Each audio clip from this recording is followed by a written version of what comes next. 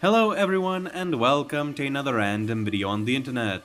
And today we are going to be building a character to defeat the man I simp for, I mean Boros. We're going to be building a character to defeat Boros. Uh, so, so yeah, we're going to be building a character to defeat Lord Boros in his released form. I already built one to beat his armored form. You can check that video out sometime later. But uh, if you like this one, of course.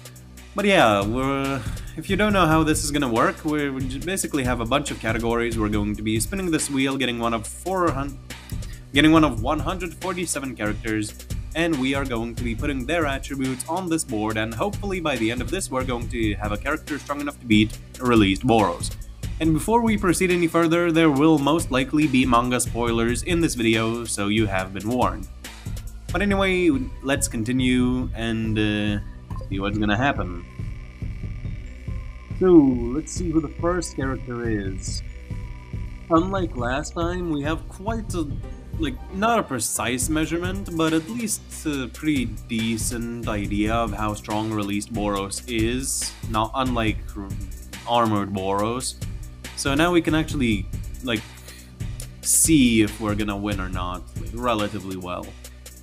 And unlike last time where Boros kind of just in character would have allowed himself to get hit, now he's just gonna be going for me. Like he's just gonna be like a brawler rush down, like just just destroy my character. So yeah, I'm gonna have to do well in speed, strength, durability.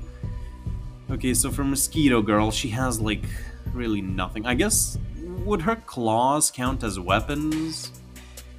If so, then I'll probably take that. Although if I get the Sunblade, I'm not sure. Maybe I'll take her skill in combat. She seems pretty... I don't I'll take her weapons. The Sunblade is rare to get, so... I'll just hold off on that. Imagine now I just spin and get like Sunblade Atom Atomic Samurai.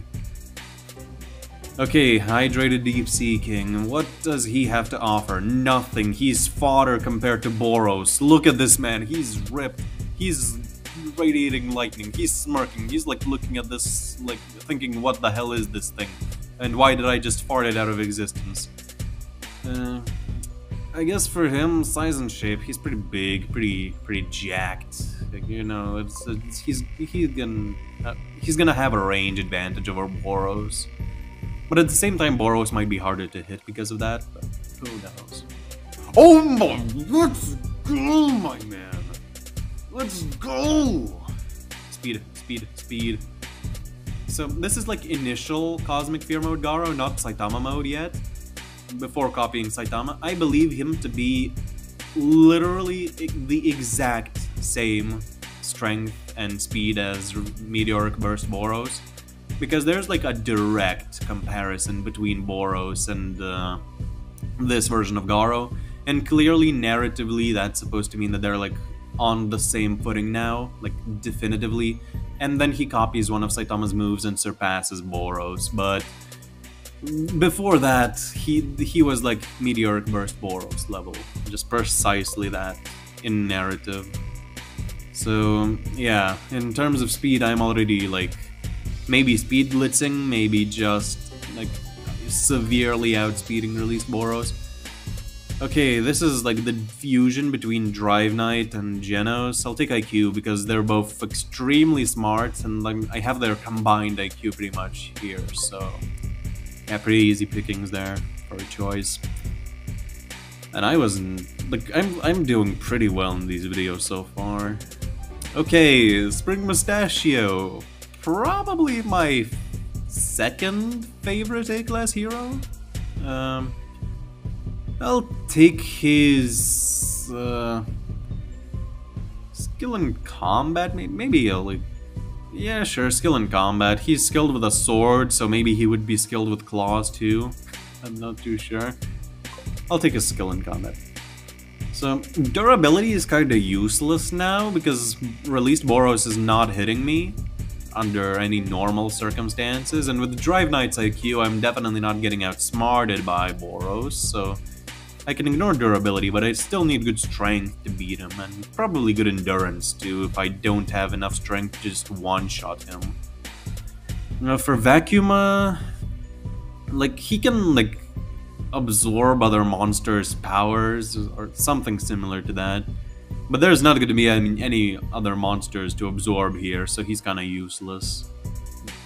Uh, I'll go with healing. Yeah, healing. I want to save abilities for if I get someone really good in that department, like say, again, Cosmic Fear Mode Garou or something, but I'll, I would just pick Garou's Strength. Oh my, bro, I'm doing too well. I'm doing too well. Against Meteoric Burst Boros, which I'm gonna be doing next, I already have the template prepared.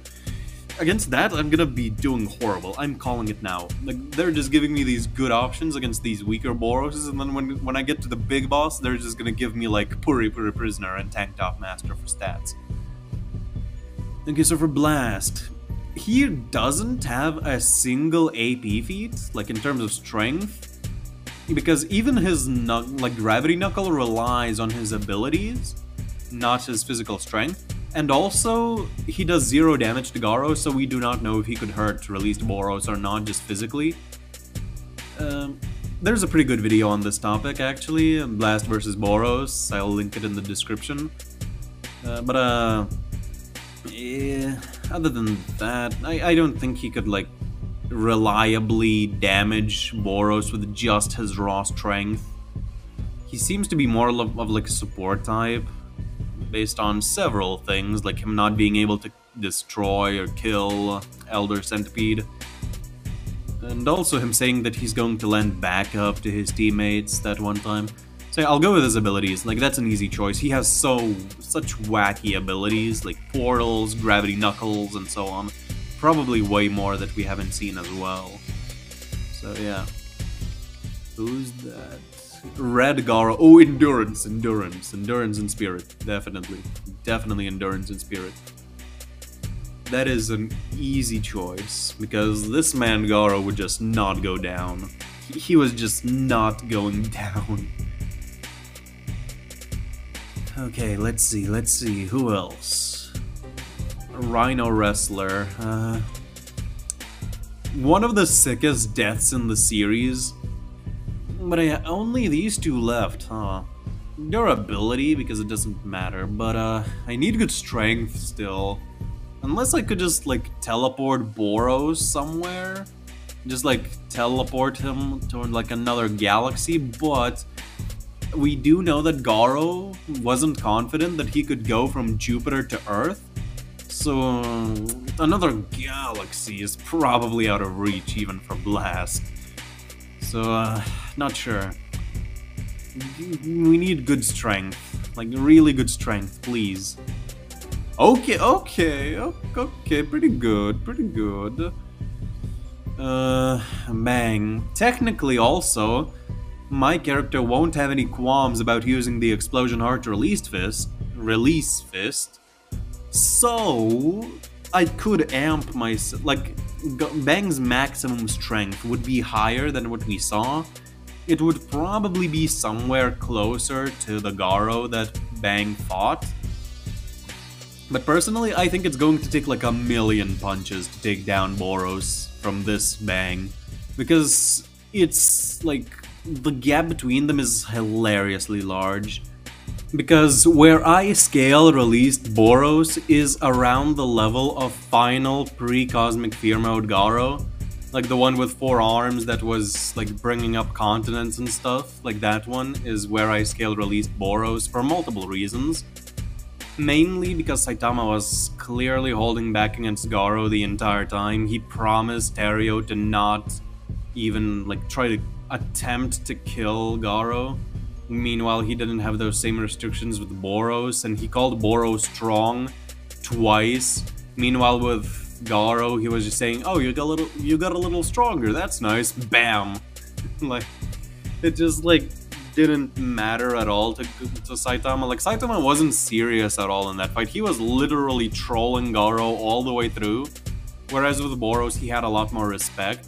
So like, there's like, in terms of narrative and feats, I do have Boros at like above that level, even in his released state. Or like at, at the very least at that level.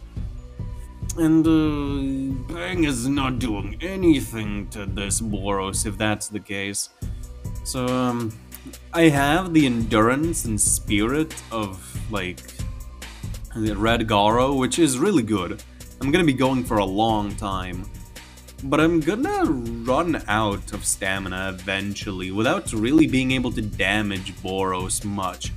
Oh, except maybe if we say that Bang's like maximum power output is with the Explosion Heart Released Fist, so he's already buffed, and we add abilities of Blast, so Gravity Knuckles on top of that, you know, maybe with enough time we could whittle down Boros and actually damage him.